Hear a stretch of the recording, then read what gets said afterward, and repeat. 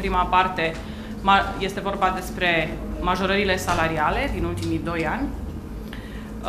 a doua parte a memorandumului vizează investițiile în infrastructura școlară și universitară. Asumarea pe care Guvernul României o face astăzi include două măsuri principale. Odată, garantarea principiului pe care se va baza, baza noua grilă pentru învățământ din legea salarizării și anume faptul că salariul de bază al profesorului debutant sau al asistentului universitar va fi stabilit la nivelul salariului mediu brut pe economie, utilizat la fundamentarea bugetului asigurărilor sociale de stat și care reprezintă 23% din maximul grilei de salarizare din sistemul public.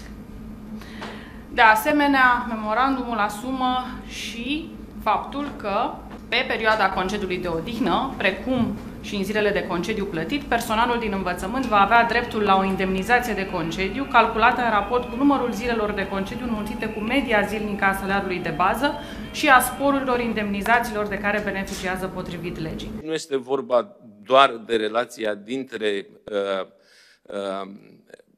membrii uh, sindicatelor și guvern, ci este vorba de impactul și consecințele acestor uh, uh, decizii uh, asupra a milioane de copii, asupra a, asupra a milioane de, de părinți și, cel mai important, asupra sute de mii de copii care urmează să susțină evaluarea națională și bacalaureatul. Toate aceste chestiuni sunt uh, convins că uh, uh, dascării noștri le înțeleg și înțeleg de asemenea apelul la încredere și rațiune pe care îl fac de la